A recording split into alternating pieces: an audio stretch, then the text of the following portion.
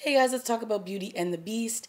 And this week's episode, Catherine um, ultimately didn't really make a decision, but she did cheat on Gabe. I mean, she has had so many outs.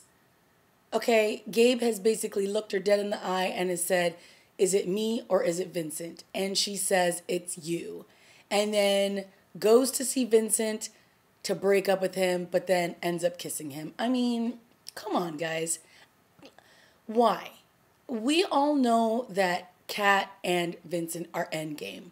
So just do it properly. Have her break up with Gabe, have her go to Vincent, and so that they can just be together. Enough of this back and forth. Like, I feel like the last three or four episodes have been the same thing. Gabe begging Catherine to be ready to be with him and please stay away from Vincent and please do this. It's like, it's not going to happen. So can we stop having the same conversation over and over again? And you're making me dislike Catherine now, okay? Because he's given her so many outs and she's now gone this way. It's like, just admit that you want to be with Vincent. We all know it and just go there. Like, be done with it. Anyway, so yes, we got the big moment which we've been waiting for, which which was for Vincent and Catherine to get back together, but now it's just under, you know, a cloud of secrecy, which is ridiculous. Um, so the other stuff that was going on in this episode was Sam. And Sam, of course, was wreaking his havoc once again. And he had, at the end of last week's episode, he had found another kid who worked, who lived at the orphanage that Gabe did when they were children. And he injected him with that serum and he had turned him into a beast. And so he was sent out on a mission to try to get rid of Vincent.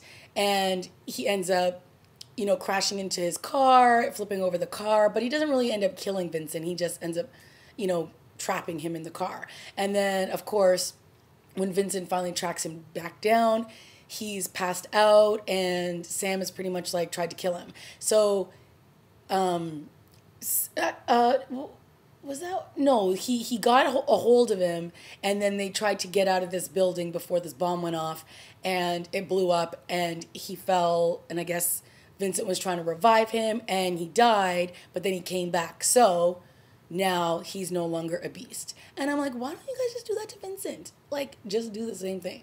Anyways, so there's no traces of the serum in his body. And now the guy's back to being a normal person, but he doesn't have memory loss, so of course he's still gonna remember all that went hap- that went down with him. So I don't know how they're gonna explain that to him.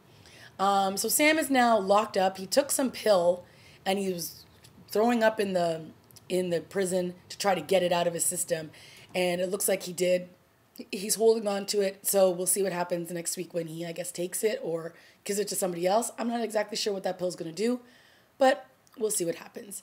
Um, so again, we didn't really have much going on in terms of like Cat and them doing a, a whole lot of police work. I mean, they were, but you know, it always ends up being Vincent doesn't want to beast out. Vincent doesn't want to use his B side. Vincent does, and we're just like, oh, oh my, a goodness. Like lather, rinse, repeat, people.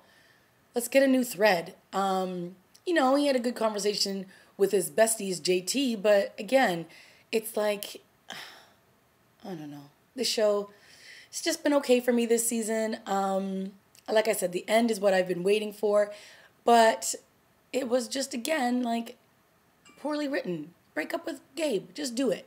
And I'm sure he'll be over it in a minute, okay?